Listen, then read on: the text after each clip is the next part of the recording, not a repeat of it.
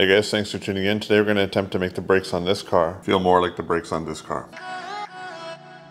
If someone were to ask me what's the biggest difference I've noticed between this 335i and my new G80 M3, I would say it's the brake feel. I'd imagine that a bunch of you would have thought that I would say that it's the power, but it's not really the power because this car has over 600 horsepower and this car has about 560. It is of course the brakes, but that shouldn't come with any surprise given this has six piston calipers up at the front and huge rotors that are drilled. For what it's worth, this 335i does have pretty decent sized brakes from the factory. The rotor is filling up that 18 inch rim almost fully. Now that this car has about 600 horsepower, about double of what it would have had stock, I'm not surprised that it can overwhelm the brakes at times. But it has to be under certain circumstances, and that's where this upgrade will come into play. The plan is to upgrade to steel braided brake lines and to swap out the brake fluid to racing fluid. So this video is geared toward BMW owners that have pushed the power on their car significantly, making well over what it came from the factory with. Let's call it over 400 wheel horsepower on one of these type of cars. I know that's a big chunk of my viewers. There's pretty much only one scenario where I've overwhelmed these brakes, and that would be after a few hard haul downs over 100 miles an hour, typically done at the drag strip. The amount of heat that you can generate in these brakes, given the car has double the horsepower, is an issue. On an M car, you can expect drilled rotors from the factory. The reason you would want drilled rotors is because the pad when it gets hot enough will off gas and create a layer of gas in between the pad and the rotor and you need somewhere for that to be relieved to be able to keep surface area. Now, unless I upgrade my pads and rotors, I'm not going to completely solve the issue, but I can go a long way to helping the cause. So here's a scenario you've probably experienced. Uh, if you've braked about three times in a row over 100 miles an hour without letting it cool down for multiple minutes in between, when you go to press the brake pedal, it sinks down further than you're used to and you don't get a reassuring feeling. In terms of having good bite with heat in the rotor, that would require better pads and the drilled or slotted rotors. But in terms of avoiding a spongy pedal, that can be fixed with what we're gonna do in this video today. So what I'm gonna do today is upgrade to racing fluid. It's better than the factory fluid that you normally put in your car. One liter will flush the entire system and I'll show you guys how to do that on an E90 or E92, etc. And we're gonna also upgrade to steel braided brake lines, but I'm doing this more for maintenance because they have 200,000 miles on it. Uh, when you upgrade to steel braided brake lines, you may notice a little bit better pedal feel, but probably not under normal use. Only when you have so much heat in the fluid that it would cause the rubber to expand. So basically in extreme situations, the combination of these two working together should help basically make a spongy pedal impossible when you have a lot of heat in the rotor.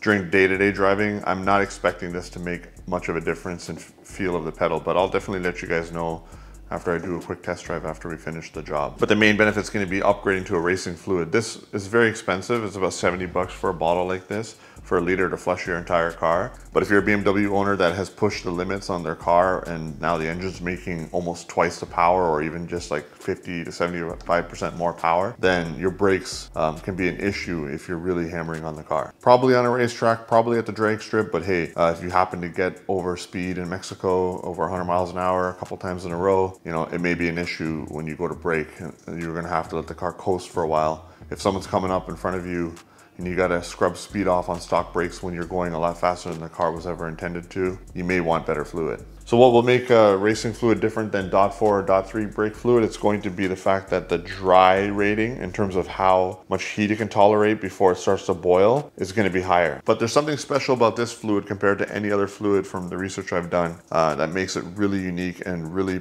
uh, a good upgrade for cars, especially as time passes. So what you may not realize is braking fluid has glycol in it, which is in the alcohol family and alcohol naturally will absorb moisture from its environment think of electronics cleaner where you're trying to clearing off a board because you're trying to displace water, you would use alcohol. So with time, after about two years, the fluid has to be changed even if you haven't driven your car and it hasn't really turned black because it will absorb moisture from the air. So now what you may notice is you get less life expectancy even if you're in a really humid environment. It just depends on how much moisture is in the air and how much is available for it to absorb. So a couple things can occur if you absorb moisture in your brake fluid. First of all, uh, with enough time, it can actually build up inside the fluid and cause the iron parts like the piston caliper to rust and cause your caliper to seize. So that's not a good scenario, so you can get stuck brakes. So the fluid inside the line would actually cause the components to rust. But besides that, what will happen is the fluid will absorb moisture and then if there's enough water in there, that will boil at a lower temperature than the fluid around it and it will cause vaporing and you'll have a spongy pedal earlier on. So racing fluid typically has a higher dry boiling point, meaning if there's no moisture yet absorbed, it can take a lot more heat before it itself would boil. But a really good fluid will maintain a pretty high rating, even wet, meaning after it's absorbed a bunch of moisture from the air. That's what makes this fluid unique. So some cars would call for DOT 3 fluid and some will call for DOT 4. BMW naturally calls for a higher DOT 4 rating because they're performance based and they want to give you uh, a higher boiling point from the factory if possible. And most new cars have that anyway. But to put things into perspective, this has a dry boiling point of 446 degrees Fahrenheit and it drops all the way down to 331 degrees Fahrenheit or 155 degrees Celsius if it's absorbed a lot of moisture. It's wet rating. That's pretty low. So what makes this special is it's got a dry rating of 590 degrees Fahrenheit or 310 degrees Celsius and it maintains 518 degrees Fahrenheit or 270 degrees Celsius even when it's wet or the wet rating. So over time, you're not going to lose braking performance under extreme heat as you would with other racing fluids. So I looked up another really good, really recommended racing fluid, uh, Motul RBF 600, and it's rated higher than this at 594, but it drops all the way down to 399 when wet.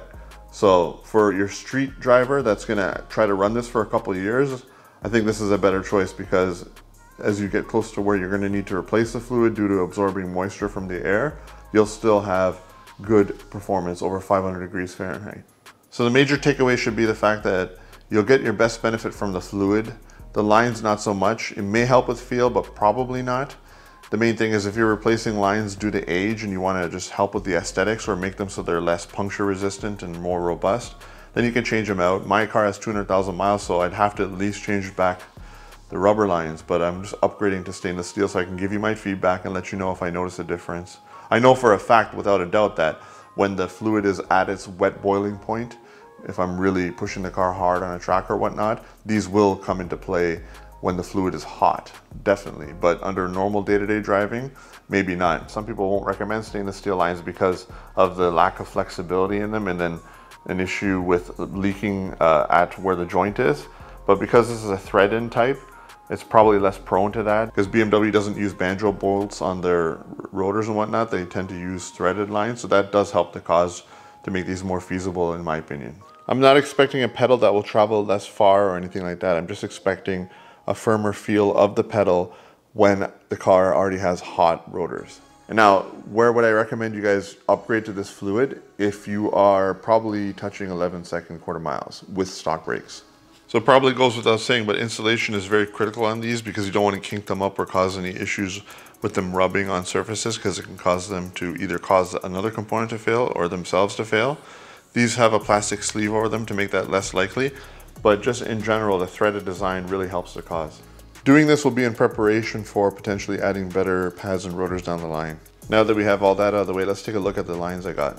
We have the two rear brake lines, which are identical. Comes with dust caps for the bleeder, and some washers. Now, the rear kit also comes with inner lines. I'm gonna leave these boxed up just so I don't mix them up, but these are gonna go on the inside. And I'll put a link in the description for where you can get the best price on the fluid and these lines. So here's the front. You have washers here and you have zip ties to help you manage the lines and new dust caps. So the front should be easy to install. The rear shouldn't be that bad. I heard these inners can be a little bit more work, but we'll get into that now and see where we end up. So the goal is to flush fluid through the system. So what I'm going to do is empty out as much fluid as I can from this, and then we'll be ready to pour in fresh fluid to push through everything. Remove the cap and we'll start removing fluid from there. So from experience, an easy way to do this is just to get an old soap sprayer and just use it to pump the fluid out. So I was able to extract about that much. So now there's a filter or a strainer inside of here and if you leave it snapped into place, the straw of your little pump will only go down far enough to bring this to the minimum level and not bleed your clutch dry, etc. since they share the same reservoir. So I would just leave that in and take out as much as you can with that filter in place. Now I can use this fluid for my one-man brake bleeder. This is a simple little device. I'm using an old bottle and you put a piece of tube inside there, preferably plastic so you can see the fluid coming through. Make sure it's submerged in the water there's going to be pressure buildup as fluid is added, so make sure that you leave this a little bit cracked for the pressure to relieve, for the air to be displaced, and this just sticks inside the bleed nipple on the car.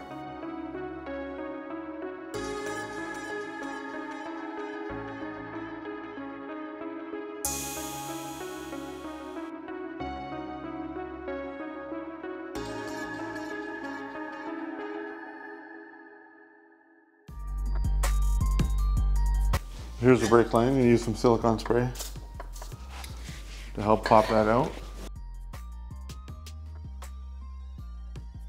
There's a brake line popped out from both places. It just screws into here. Over here is where it connects. I'm using a line wrench to remove these. This is an 11 mil line wrench. Keep in mind the way I'm doing this will introduce air into the line. We expect that because I'm going to do a thorough bleed after. You have to use just an open end 14 on the caliper.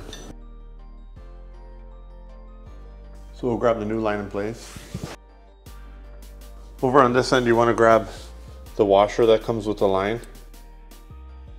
Up top is a 14 mil, down here is an 11 mil with your line wrench. Main thing you want to focus on is the management of it. Luckily this is a good kit with two rubber grommets that snap into the factory place and there's enough slack on either end so it won't bind up as it's being used. So they give you zip ties and bleeder caps, but really with the way this is managed, there's no way this would chafe or make contact with anything. It's installed just like the factory with two major mounting points. I don't see the point of zip tying it anymore without causing more issues. So I'm just gonna use these two and keep the original dust cover because it snaps onto the caliper and stays in place. You can't drop it or lose it. So this is ready for bleeding. We'll move on and do the driver's side front next. So this probably will be the worst line because it's right by the turbos, uh, but this is cracked and whenever you see crack lines, you have to replace them. It's one of the benefits of rubber is you can actually see when they age versus the stainless, but you know, these cars are only being kept on the road now, I believe, uh, as a performance car, as cheap power for the money, not really as like reliable dailies. Once they're over 10, 12 years old, you don't necessarily drive a car that has deteriorated rubber all over it, right? Anyway, that's what they look like and that's why I'm replacing them.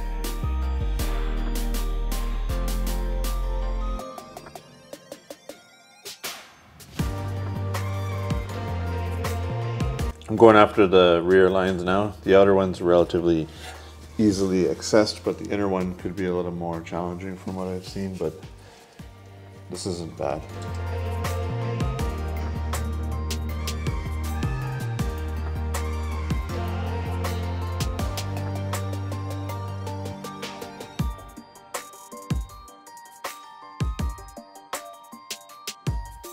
So now connecting to the subframe, we have the remaining two flexible lines on the driver's side of the car.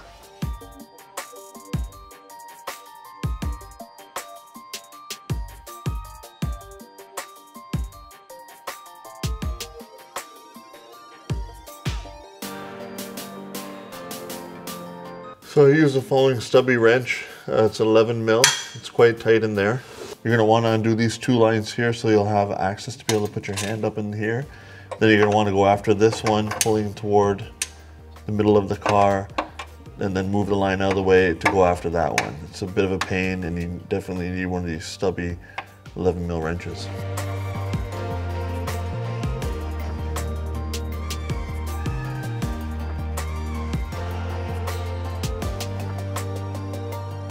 Just because of the really hard angles up at the top, I used a regular wrench to finalize tightening the last line there. I used a stubby wrench and then a line wrench on one of the lines and then I ended up needing to use a regular 11 mil to get that angle I would have needed on one of the lines. It was pretty tight up there. Now we'll tighten up down here. So there's a final look at those. We're ready to bleed the brakes now. So I'm starting from the wheel furthest away from the master cylinder. Gonna bring over the one-man brake bleeder, insert it into here. We can crack this line open. So that's cracked open now.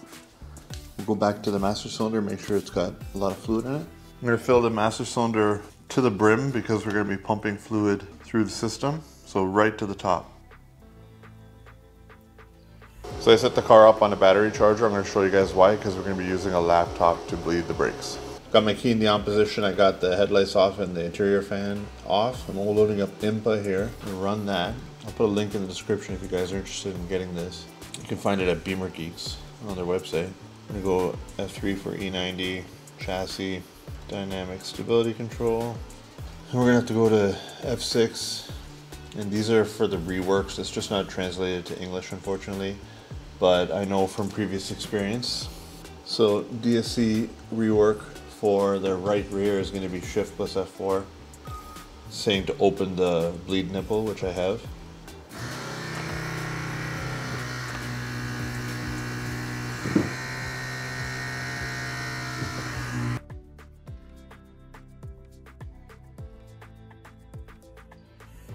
you know, saying to close the bleed nipple. Pay attention to how much fluid is in that bottle to start. So that's how much fluid made it into the bottle after one wheel. And keep in mind that you have to, you can't just back it off slightly, you gotta back it off quite a bit. And then you gotta kind of run back to it and tighten it before any air bubbles can make it past the threads. But just know that you have to back it up a little bit more than you would think. So we lost a decent amount of fluid, so I'm gonna top up the bottle. It went about halfway down.